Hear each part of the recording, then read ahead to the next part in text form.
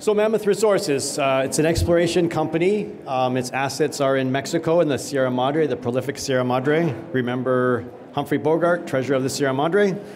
Um, actually, I'm just going to point the uh, picture on the right, pertinent to the points that were just discussed, is um, some free gold that was uh, panned from one of the streams that run off of our property. So I'm the president and CEO, but I'm joined by a really good, uh, small, but very well experienced uh, team. Um, total, we've got 100 years of experience. Uh, our vice president of exploration, Richard Simpson's worked for major cap companies, and um, he lives in Mexico, is married a Mexican woman, and, uh, and so really um, invested in Mexico and in our property. Um, see some of our other management there. See the gold price on the on your left, and then our share price. Uh, we've come down with the gold price. Um, actually, we had somebody sell on Friday about $600 worth at four cents. Um, we've traded up to eight cents over the past 10 days since the announcement of our project uh, being optioned by Centerra Gold, close to a $2 billion company. Um, it took six months to sign that agreement um, announced December 20th. Um, we haven't really been out marketing. This is our first opportunity and that. And um, if you look at how much they're prepared to invest, which is US 9 million, Canadian 12.5 million, to earn up to a 70% interest, the implied value of our stock from that would be about uh, Canadian 5 million. And we're trading right now at that 4 cents at about 1.2 Canadian million. So we think there's good uh, potential. Um, it's a tight share structure. We have only 37 point, or 30.7 million shares outstanding, and um, yeah, so that's a summary of that. Um, so why invest in Mammoth? Well, we have a huge 15 square kilometer gold footprint on our property. And so um, that's about five kilometers by three kilometers, and it's open to the east and the west. Um, we're seeing signs as much as six kilometers by this three kilometer area. Um, it does have drilling, and in fact, it's that we had the courage to go out and drill the property last year, and those results, which attracted Centerra to make their investment into the property. Uh, we were visited by one of their PhD geologists, and he was ecstatic about what he saw in the drill core and the results that we achieved, and um, some of which have been highlighted there. So you'll see uh, on the higher grade side of things, 3.7 meters grading uh, five and a half gram per ton gold. And then um, there's uh, five and a half meters at five gram, 23 and a half meters at 1.3, and 58 meters at 0.8 gram per ton gold. So some really terrific intersections, sporadically drilled over about four kilometers of this five to six kilometer trend. Um, again, recently signed this option agreement with Centerra. Uh, we're fully funded in exploration up to the point of uh, pre-feasibility study and, um, and a mineral resource being defined. Um, it's a tight capital structure, as I pointed out earlier, we're only 30.7 million shares outstanding. And again, the implied value of the company relative to Centerra's commitment. And so the terms of the Centerra commitment outlined here, come to the booth, but basically it's US 5 million, um, Canadian 6.6 for a 51% interest. And then um, to take that to 70% interest, it's US 4 million expenditure. Um, and we'll also be paid about 900,000 US over the terms of the option. So let me introduce you to the project. So we're located in the prolific, as I say, the prolific Sierra Madre. Remember Humphrey Bogart, treasure of the Sierra Madre. So we're down here in southwestern Chihuahua State. We can drive to the property from the east or the west. We can fly into the property on a commercial fixed wing aircraft that lands on a gravel airstrip about 20 minutes from the property. Um, there's water, there's electricity, but we don't have any big population. There's three subsistence farmers on the property, so we don't have any, we don't anticipate any social issues.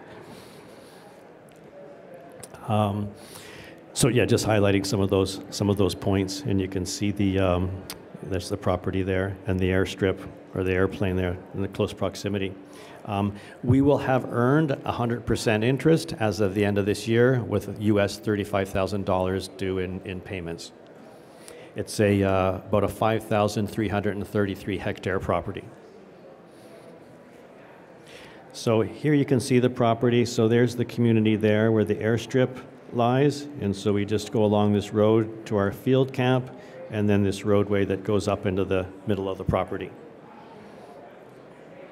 Um, zooming in on that, the areas of mineralization, it's these, this large sort of five to six kilometer area here where we've got three distinct areas that we've identified and explored. And then a little bit further to the west over here is, um, are some other opportunities. This is a high sulfidation system, and without going into deep on the geology, basically what you have is you have a, an intrusive magmatic body. It's, it's the heat source, and it's the source of the metals, and um, it generates a lot of volatile hydrothermal, hydro water thermal temperature that invades up into weaknesses in the shallower levels of the Earth's crust. And you can, uh, the high of the high sulfidation is highly acidic. So it actually replaces some of the other rocks in different stratigraphies um, that prove as favorable sources. And what we see on the property, we're suggesting this may be the erosional level. So we're seeing this type of mineralization to the east, and at the in the west, when we're deeper in the system due to just topography, six to 700 meters deeper in the system, we're seeing the potential of this porphyry source as well. And that in particular is what attracted uh, Centerra. So that's the typical model of these high sulfidations. High sulfidations in this area, Mulatos, a four and a half million ounce deposit, and El Sauzal, which was two and a half million ounces, are within close proximity, a couple hundred kilometers to our Tenoriba property. This uh, illustrates that footprint that we spoke of, so about five kilometers by three kilometers. This is soil geochemical. So this is gold that was sampled simply in soils. The red denotes 0.2 grams per ton gold. And in an open pit heap leach type deposit, 0.2 would be around your cutoff. And we're getting that kind of grades of gold simply in soils at the surface. So that's it's a very, very anomalous footprint.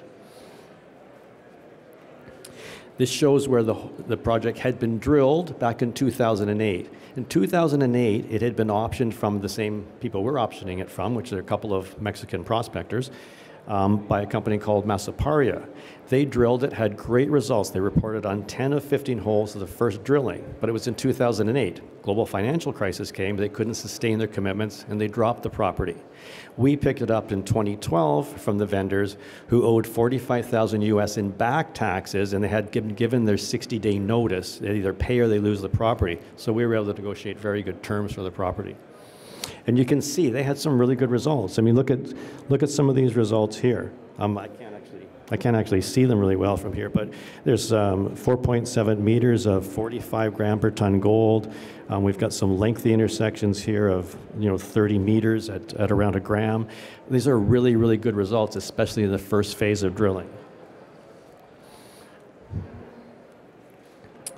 Um, now this shows where we've gotten some of our results, and um, this, these squares, the different colors denote some of the grades that we've achieved. So the highest that we sampled from surface was 74 grams per ton gold. Um, and that, and so in some areas, as much as 74%, 115 samples that we that we sampled actually graded, giving us about a 1.56 gram, and that's just on surface. Uh, gold that occurs as free gold, and so being so, it's amenable to open pit heap leaching, which is a low capital cost and low operating cost way of recovering the gold. And that, and here you can see the free gold grains on the uh, sulfide minerals. Um, we did some channel sampling, which led up to our drilling, had really good results. We averaged, um, we averaged um, of uh, 15 trenches, we averaged a grade of, of 1.56 over 139 meters. Um, this shows where we did some of our drilling. Um, it's open, as I say, in a number of directions. And um, some of our drill results. We highlighted some of the better samples or the better intersections in red where we got tens of meters at potentially economic grades. Um, and this is a section that we've done. So after all of this work, as we've looked at our model, one thing that we've realized is that this is looking north, and that if you look to the west, we're deeper into the system. And so our drilling has actually intersected what we believe is close proximity to this porphyry source. And so we believe that um, intersecting this, uh, this porphyry could, uh, could show enormous potential because that's the source of the gold that we're getting at shallower elevations. And then, of course, over in the east here, we've got more of that typical high sulfidation type rocks um, where we're also getting results. So, bottom line, look, it's a really big footprint. We're getting gold ubiquitously over a 15 square kilometer area. We've attracted the attention of a major market cap company to invest in this property, people with highly educated and experienced geologists who are prepared to invest in this opportunity opportunity now, and we're trading at a pittance of what would be ascribed as the value based on what they're prepared to invest. So we're at booth 1035. I welcome you guys to come by and ask any other questions and, um, and consider Mammoth Resources. Thank you so much.